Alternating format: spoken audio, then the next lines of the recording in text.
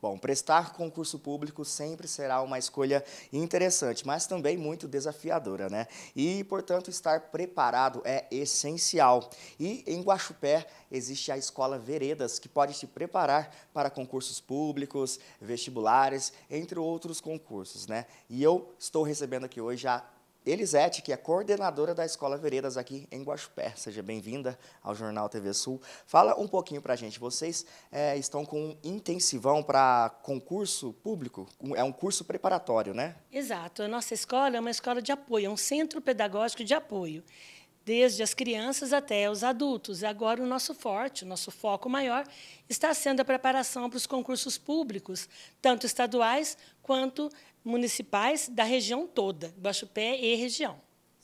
As atividades são presenciais? Sim, são todas presenciais. Nossas turmas são pequenas, porque a nossa escola funciona numa casa adaptada e as nossas salas são pequenininhas, mas, na verdade, o nosso objetivo era esse mesmo, turmas menores para a gente poder oferecer um atendimento individual realmente específico para sanando as, ir sanando as dificuldades que as pessoas apresentarem. É, para o curso preparatório, né, para concurso público, quantas horas e quantas aulas? Nós temos quatro aulas diárias, sempre à noite, das 19 às 22h30. E, dependendo da exigência que ah, o concurso faz para o candidato, é a sala que ele vai frequentar. E nós temos turmas de português e legislação, temos turmas de raciocínio lógico, que é na área de exatas, matemática e legislação, e é, é, português com raciocínio lógico, a gente vai mesclando de acordo com a dificuldade que a pessoa apresentar ou a exigência para o cargo que ela tiver feito a inscrição. E para quem estuda por si só, muitas vezes acaba se deparando com, é, com, é, com dificuldades na hora da prova. Né? Portanto, se preparar numa, numa escola como o Projeto Veredas é essencial. Sim, porque ninguém substitui a presença de uma outra pessoa que já está melhor instrumentalizada. Né? as técnicas, as tecnologias ajudam muito. Nós tivemos prova disso durante a pandemia. Né? Ai da educação se nós não tivéssemos mídias que pudessem nos socorrer. Mas a presença do professor ali no momento em que a dúvida surge é de extrema importância. Né? A pessoa vai estudando, quando ela percebe que chegou um ponto que ela não consegue descobrir sozinha as respostas, é importante a presença do professor. Por isso, nosso intensivão funciona na base da análise de itens, que é como se chama tecnicamente as questões que são apresentadas em vestibular.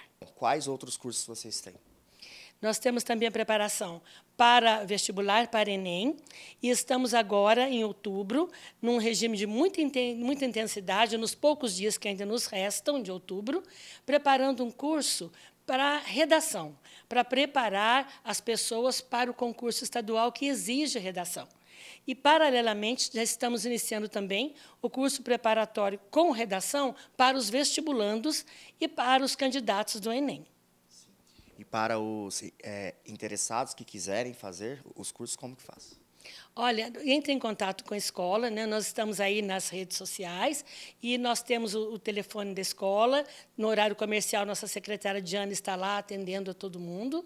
Né? Nós vamos deixar aqui na TV Sul no, nossos contatos todos, mas é, o, de imediato nosso telefone é 99131 6454. Né? Então, ligue na escola e fale conosco. Né? Nós temos lá outras frentes de trabalho também com as crianças e estamos começando também o Clube do, do, da Terceira Idade, né? o CTI, que não é esportivo. Né? É o Clube Terceira Idade, que é, é constituído de jogos e atividades é, assim lúdicas, mas, ao mesmo tempo, que mantém o desenvolvimento cognitivo do, da pessoa idosa. Né? Porque não é porque a pessoa já viveu mais que ela vai estacionar e vai permitir que o cérebro pare. Né? Nós precisamos continuar nos exercitando, tanto física quanto mentalmente. Nós estamos lá à disposição da comunidade gachopeana e de toda a região. E a Escola Veredas tem histórias de sucesso já, né? Sim, embora a escola seja muito nova, nós inauguramos este ano, né, dia 10 de março, mas já temos histórias para contar que os nossos alunos construíram.